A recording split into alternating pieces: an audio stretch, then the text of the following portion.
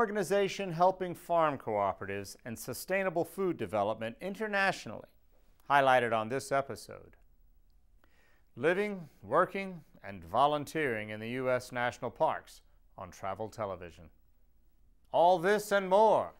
Now, on to our first stop. Hi, we're here with Charles Phillips, the President and CEO of Service for Peace. Thank you so much for being here with us today. My pleasure, Amy. And can you tell us uh, what is unique about your organization?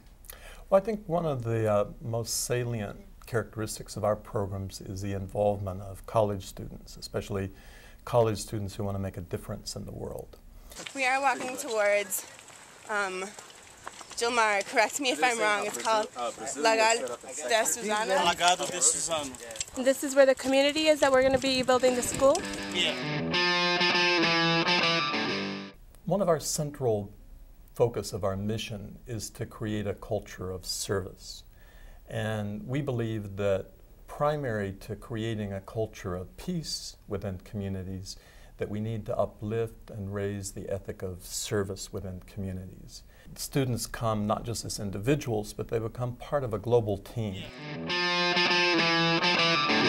Uh, the students are paired together with local students and together with some of the uh, residents within the community, uh, as well as one of the effects of uh, students coming from abroad is to create kind of a sense of excitement in the mm -hmm. community. This weather is awesome. I'm moving here. Initially, they're sort of wondering what are they doing there? What is the purpose of this? Mm. Uh, they come to find out that the university students have paid their own airfare to come over there. They're not getting paid. And it attracts the attention of the community. How is your organization connected to the Building Bridges Coalition and, and why do you think that's important? The Building Bridges Coalition is an important uh, coalition of organizations that are advocating for international volunteerism. And so we feel it's important to support their efforts and support the goals of the international volunteer sector. Our community programs are ongoing, so even mm -hmm. though the students will be there only two or three weeks, but the work continues because it's community driven. No solamente eh, pasamos unas dos semanas en la comunidad y nos vamos dejando, ni dejando las semillas solamente, sino que la misión de, de Servicio para la Paz es para crear comunidades de paz. Y para hacer eso necesitamos muchos voluntarios.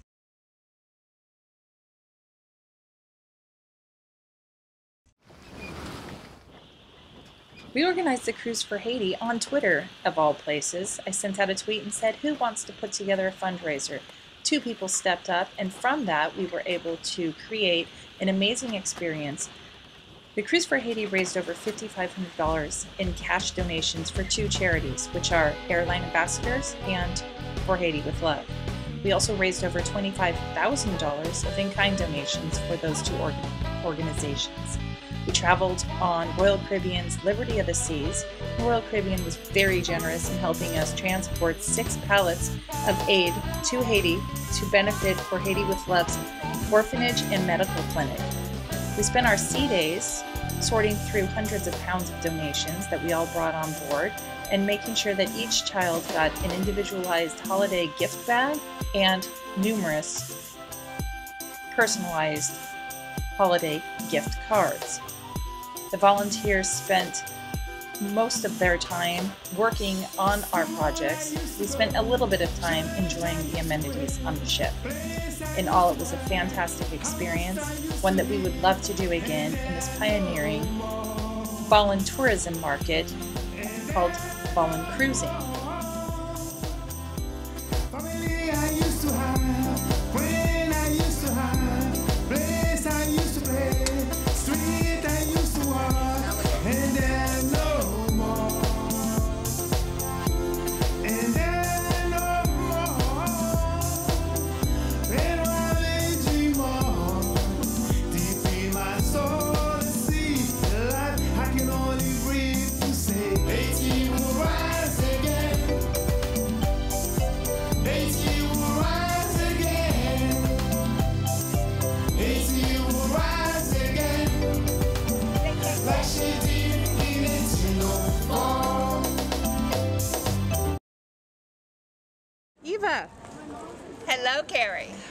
This box right here, this is one of our six or seven pallets that are coming to your organization, right? That's right. So you were excited to get it, right? Oh, yes, and there's cholera medicine on the others. Cruising, when you do that, creates a huge ripple effect in the island because it changes the nature of cruising from a thing that takes to a thing that gives back. And that's substantial. Volun Cruising shows that cruise passengers really want to help and they really do want to make a difference in that island in Port of Call. Go to the uh, orphanages and give back to the people.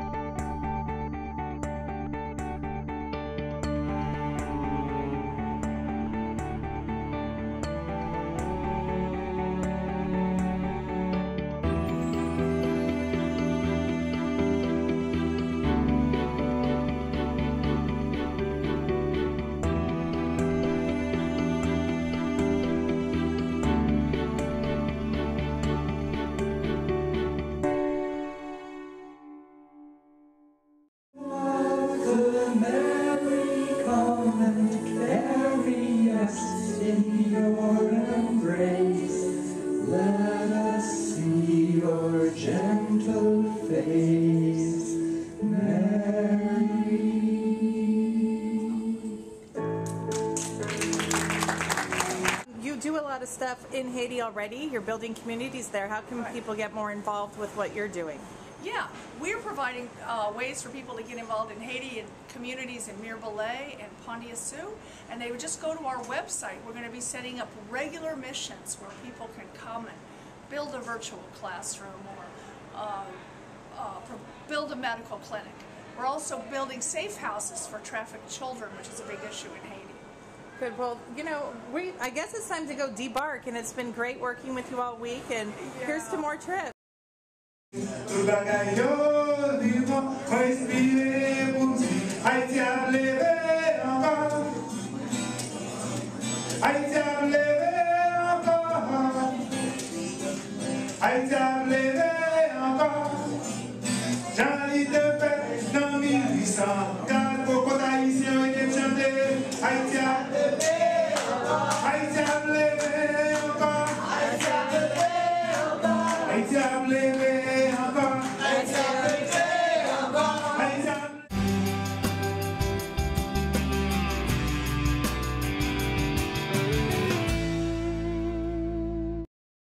Sheryl Kayne is a writer, adventurer, and educator. She has written several books on volunteering, including the latest, Volunteer Vacations Across America. The book includes over 200 affordable trips throughout the United States, from free opportunities to internships, stipends, and volunteerism packages. Having traveled to almost every state, this guide chronicles a long list of volunteer activities. Travel Television recently spoke with Sheryl, and now she shares some of her favorite trips. It's really exciting when you go to a new place and you connect, when you have a specific job or volunteer position or a goal in mind, you become part of the community and you really connect with the locals and you learn to do things the way they do. And it's not just visiting. I say that you don't want to just visit, you want to get involved and give back. Right. And when I was researching my first book, Immersion Travel USA, which my website is also immersiontraveler.com, mm-hmm. that's when I realized that there were so few books that focused on volunteer vacations here in the United States. So many of the books would have a hundred all over Europe and all over the world, with maybe 25, 30 here in the United States. And I said, people need our help right here. And the best thing about having the trips right here in the United States is also that you can revisit. You can connect with places, learn about something, match your passion and your interest to things you want to do right here. What do people feel like coming out of an experience like that? What, what have they said to you after they've come out of an experience of working at a national park, being a part of part of it as opposed to just a visitor to it? They say that they will never forget it because you're in a position not only to interact with people from all over the world, you develop a deeper appreciation for what we have right here. Mm-hmm. Because very often you have people coming from all over and you see it through their eyes. And then you develop this very strong sense of pride. I mean, we're believe it. very I happy that people before us were smart enough to protect these lands Mhm. because it's absolutely amazing what you can experience. And when you are staying in the park, chances are you can go out in the morning Right. and you can see a bear on your front porch or you can see um, an eagle flying overhead and experiences that you just don't ordinarily get. Thank you very much. So- I love what I do. And people really love animals. We have such a, a soft spot in our heart. And it's so important to protect the animals of our world so that they are here and healthy for future generations and our children to enjoy as well. Absolutely. So check it out on my website, immersiontraveler.com. Volunteer vacations across America and Immersion Travel USA are both available through all major bookstores and Amazon.com. Great, great. Thank you. Thanks for coming again. Thank you. I loved it. Hi, I'm Sheryl Kayne, the host of Volunteer Across America TV, and I need you to make TV with me. We'll be visiting interesting locales across the United States, and you will be learning how to handle being on TV cameras, being in front of a microphone, videotaping your own experience, and using the social networks, all to volunteer and give back to each community that we visit. Check it out on my website, volunteeracrossamericatv.com, and let's give back to one community at a time. I'm Sheryl Kayne.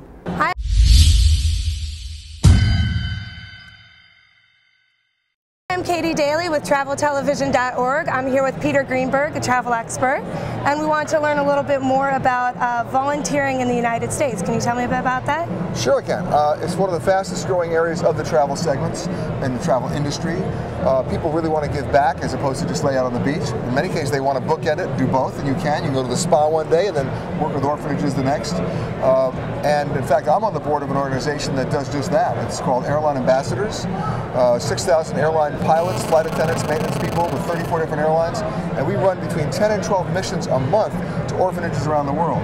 And uh, it's the best vacation you can have because what you think you're giving, you're getting back so much more. Can you tell me a little bit about what, what does this mean for a younger generation as well as baby boomers? How Oh. did they get involved? It means a lot for the younger generation, and I start with the age of six if you want to get young, because if the kids bring their parents, they're going to be happy. Uh, I think kids should be much more involved in travel decisions anyway. They'll be happier on the trip. Uh, and kids are leading the way. They're leading the way in terms of volunteer vacations. They're leading the way in terms of environmental travel. They're leading the way in terms of educational travel. And if the kids are happy, they'll bring their parents. Wonderful. And do you see any upcoming trends with this? Is this a growing thing? Oh, it's already growing. Uh, and it's not about cost, and it's not about price, and it's not about time. It's about accessibility and experience. And that's really what the travel industry has to learn, that it's not about being competitive on rate or price, it's about being competitive on value. And there's nothing more valuable to me than a volunteer vacation. With over 93 projects in 42 countries, ACDI VOCA is one of the oldest and largest international development organizations fostering broad based economic growth and wise stewardship of food and agriculture. The Agricultural Cooperation Development International, ACDI, was formed in 1963 by major U.S. farm co ops with a goal to provide expertise and support to cooperative enterprises in developing countries. Volunteers and Overseas Cooperative Assistance, VOCA, was established in 1970 to provide volunteer assistance to developing countries. The VOCA was the first to implement the U.S. aid funded farmer to farmer program in 1985. In 1997, VOCA and ACDI merged to form ACDI VOCA. This merger combined ACDI's long standing development approaches and VOCA's people to people volunteer activities and programs. The current entity has worked in over 145 nations to promote economic growth opportunities for cooperatives, enterprises, and communities through innovative applications of sound business practices. Travel Television spoke with Diane Roach about the organization. ACDI VOCA currently has a food security program in Haiti. When the earthquake struck last January, our staff worldwide, which numbers over 1,000 people, wanted and had to do something. We knew that a lot of money was flowing in for relief work, Well, relief work is not what ACDI VOCA does. We do recovery work, we do economic development work. So, out of this money that we raised, which was $100,000, we created the REACH project. And the REACH project is a wonderful project to help rebuild Haiti. How to allocate the $100,000 REACH fund? According to Emmett Murphy, the most pressing need is seismic safe housing. Emmett Murphy, the ACDI VOCA chief of party in Haiti, consulted with mayors throughout the country. They decided to give the first REACH grant to a Haitian education association called ABTEC. ABTEC trains workers in new building techniques crucial to this earthquake prone region. So when we asked Emmett what's the best use of, of $7,000 that we had to contribute out of all of these many, many programs that he is in charge of, he chose this building program for these Haitian men and women. And he needed a consultant. So he contacted a man named Kent from Wyoming. And we had the good luck of meeting Kent a couple of days ago. And he is one of the funniest, most down to earth men I have ever met, but also the smartest. Uh, this is my third job I've done with them, and uh, uh, I, they are a, a, together outfit. I enjoy working for them. My, my area is manufacturing and construction. That's what I taught at the University of Wyoming for several years. And they want to train um, potential craftsmen from scratch to uh, build quality structures, light construction, light structures, family structures, nothing over one story. And they want to do it in such a fashion that people can feel safe from any seismic threat and hurricane threat. Of course, if you do something that is uh, seismically uh, solid, then a hurricane is not much of a big deal because you just make sure the roof is tight on tight, right? rather to keep it from blowing away rather than shaking off. This is an incredible opportunity for this group of, of young men and women.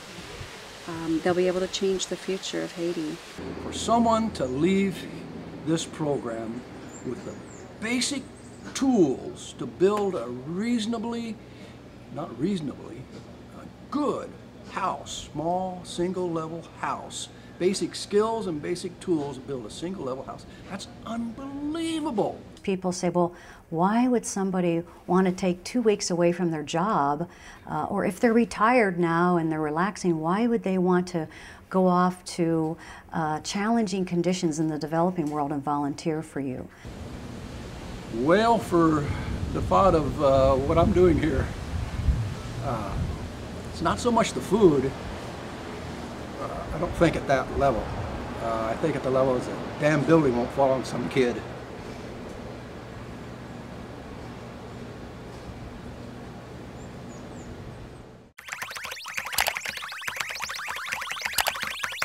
Some travelers like to get a lay of the land before they land.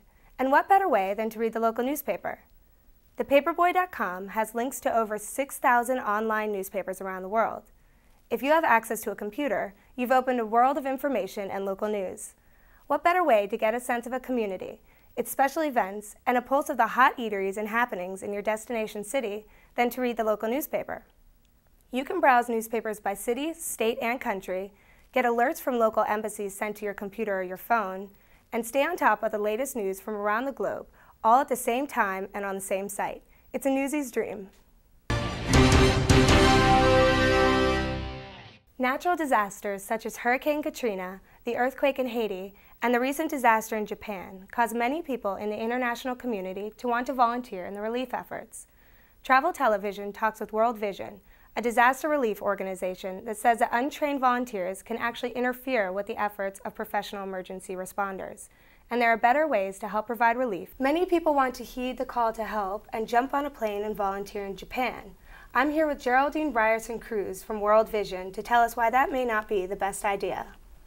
That's right. It's wonderful to see this generous impulse. Um, it's a great, great intention to want to reach in and roll up your sleeves and help people in need. And Um, but what we've found in responding to 75 to 80 disasters of varying types and sizes each year is really that uh, people who go in, as well intentioned as they may be, unless they are really trained, very equipped, and very coordinated with disaster response peers, um, they can actually bring more challenges and difficulty to the situation rather than help. What kind of challenges might they face? Sure. The, usually, uh, when people see a disaster uh, in images and television and photographs, they those don't tell the full scope of what's happening on the ground and the difficulties that are faced. So you often will have um, a, a, population that is displaced from its homes. There may or may not be enough shelter.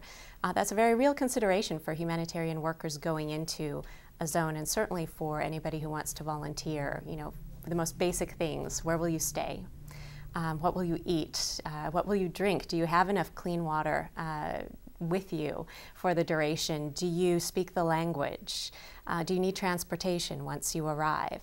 And people who are practiced in these sort of things have built up uh, ways to get around each of these obstacles and difficulties and coordinate with each other for that. Um, but, but for volunteers coming into a zone, these, these are very important things to think of. You don't want to wind up being a burden on the limited resources in that place um, or detracting from what's available to local people who've been impacted by the disaster because you need to find all of those things for yourself and, and may wind up actually uh, requesting help of other humanitarian workers who were there for the same reason you are rather than serving the local population. If people do want to volunteer on the ground in Japan, how will they know when it's the right time to come help?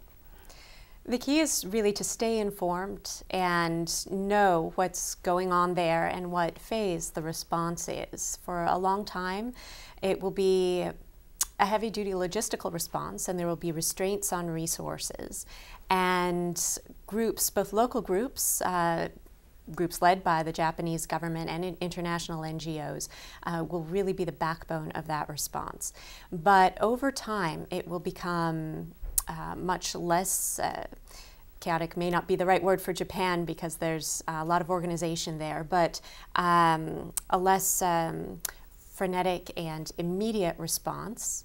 And over time, they may be able to find groups that they know are doing work in those specific areas and just keep in touch with what they're up to at that time. When they become open to, uh, to volunteers um, or to working with groups that are back in the States, uh, they may extend that invitation, and, and that's a good time to, to really start to get involved.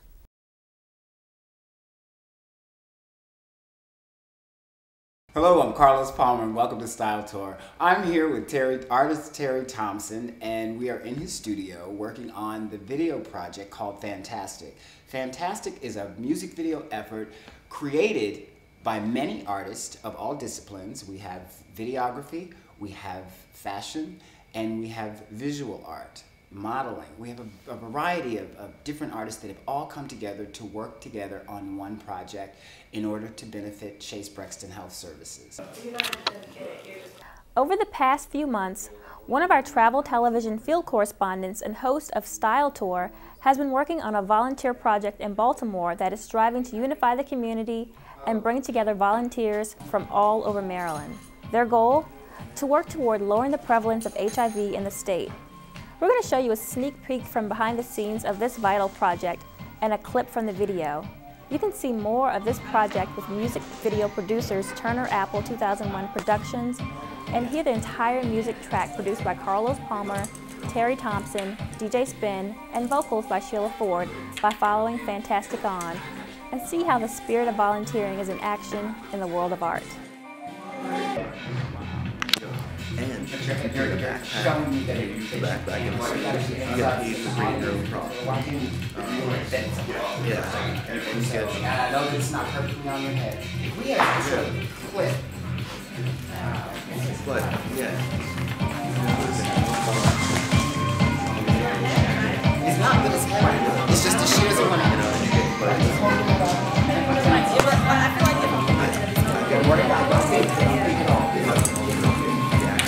Yeah.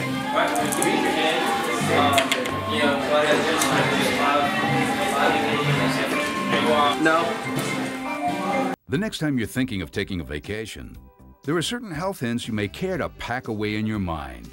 The U.S. Centers for Disease Control and Prevention reminds Americans that it's important to take time before your trip to reduce your risk of catching or spreading the flu or other diseases. Vaccines are the most important tool for preventing flu. Talk to your doctor about getting a shot against swine flu and seasonal flu before you travel. Also, if you'll be leaving the country, see a doctor about what vaccines, medicines, and information you'll need. Depending on your situation, your doctor may advise you to take antiviral medications with you when you travel, especially if appropriate medical care is not readily available at your destination. Prepare a travel health kit. Prevention can be travel sized, including your kit tissues, pain, or fever medicine, soap, and an alcohol based hand rub to use in case soap and water are not available. You can learn more online at cdc.gov.